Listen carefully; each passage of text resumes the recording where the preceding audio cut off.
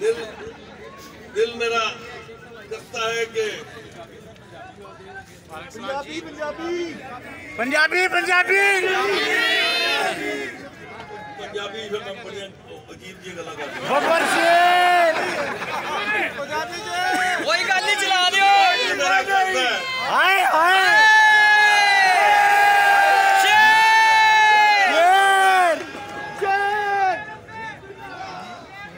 ਸੂਰਜ ਢਲਦਾ ਜਾਏ ਰਾਤ ਹੁੰਦੀ ਜਾਏ ਤੇ ਮੈਂ ਤੁਹਾਡੇ ਨਾਲ ਗੱਲਾਂ ਕਰਦਾ ਹਾਏ ਤੇ ਗੱਲਾਂ ਕੀ ਕਰਾਂ? ਉਹ ਗੱਲਾਂ ਜਿਨ੍ਹਾਂ ਗੱਲਾਂ ਨੇ ਤੁਹਾਡੀਆਂ ਦੁਆਵਾਂ ਨਾਲ ਤੁਹਾਡੀਆਂ ਮਿਹਨਤਾਂ ਨਾਲ ਮਤਲਬ ਇਸ ਮੁਕਾਮ ਤੱਕ ਪਹੁੰਚਾਇਆ। ਇਨਸ਼ਾਅੱਲਾ।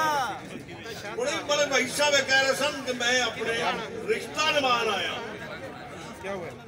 ਰਿਸ਼ਤਾ ਤੇ ਉੱਥੇ ਨਿਭਾਈਦਾ ਜਿੱਥੇ ਰਿਸ਼ਤੇਦਾਰ ਰਹਿਦਾ ਹੋਣ। ਉਹ ਮੈਂ ਤੇ ਤੁਹਾਡੇ ਦਿਲਾਂ 'ਚ ਵਸਣਾ ਤੇ ਤੁਸੀਂ ਮੇਰੇ ਦਿਲਾਂ ਸ਼ੇਰ! ਅੱਲਾ ਨਾ ਕਰੇ ਅੱਲਾ ਨਾ ਕਰੇ ਕਿ ਤੁਹਾਡੇ ਤੇ ਮੇਰੇ ਦਰਮਿਆਨ ਕੋਈ